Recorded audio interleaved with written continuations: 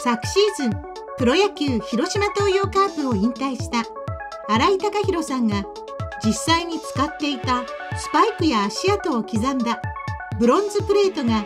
キャンプ地の日南に展示されています。この企画は去年駅舎を赤く染めてカープ油津駅として盛り上げた日本一のカープ駅を作る会の町おこしメンバーがキャンプ地から新井さんに感謝を伝えたい気持ちと功績を残そうと企画。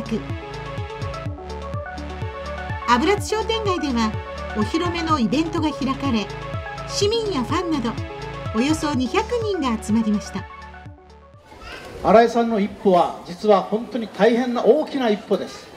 この一歩をぜひこのキャンプ地日南にですね残したいということでみんなで知恵を絞ってですね、えー、考えてきました。油津の町は今からも少しずつ変わっていきますけども毎年来てくださいね。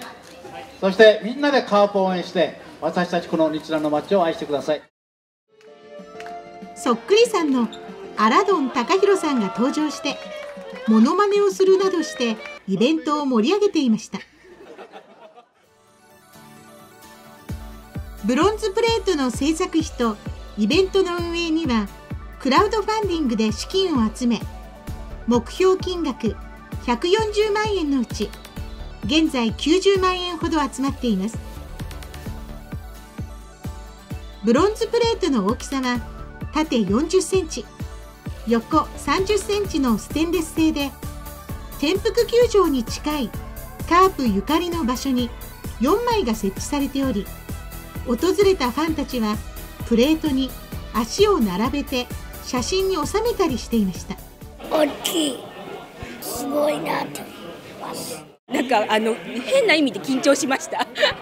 地域の活性化にもなりますしであのカープのファンがあのどんどんどんどん増えていくのですごくいいことだと思います。新井さんから無償で提供されたスパイクは JR 日南線油津駅と商店街にある油津カープ館に2月末まで片足ずつ展示されています